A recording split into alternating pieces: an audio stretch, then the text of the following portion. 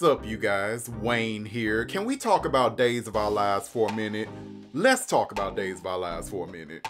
Out of the four remaining American soaps, Days is the most insane of them all. It has a mad scientist that can brainwash people and bring them back from the dead. The actual devil is a character on this show who possesses people and summons zombies. Actual angels and psychics also exist. Currently on Days, the show is killing off three of its main leads, Dr. Marlena Evans, Dr. Kayla Johnson, and Kate Brady. The story surrounding their deaths is emotional and good, but it would be better if we weren't already spoiled by the promo that the ladies will be back.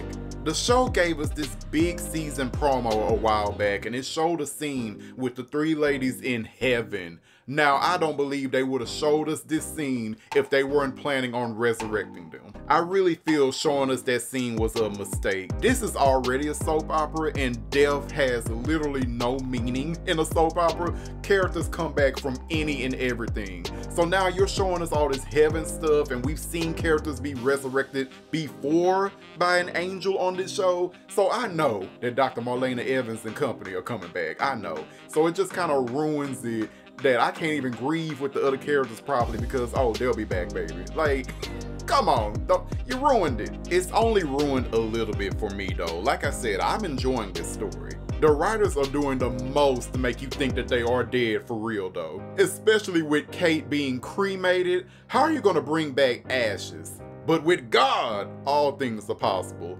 And when them ashes get put back together, I'm going to fall out of my seat laughing. Death has zero meaning on this show. We all know that Bo is coming back too, and he died long before I even started watching this show. And he's also been an angel. An angel who brought Tripp back to life when he died sacrificing himself to stop Satan.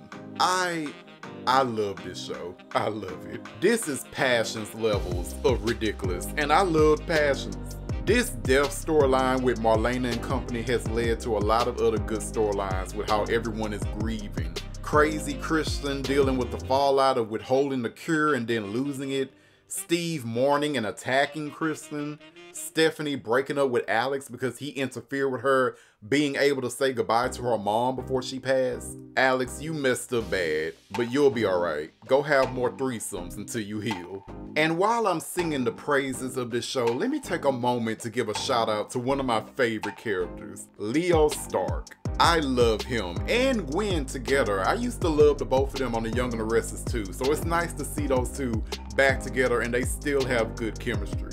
Leo is funny as hell, and I hope he doesn't leave this show for a very long time. I think it would be nice.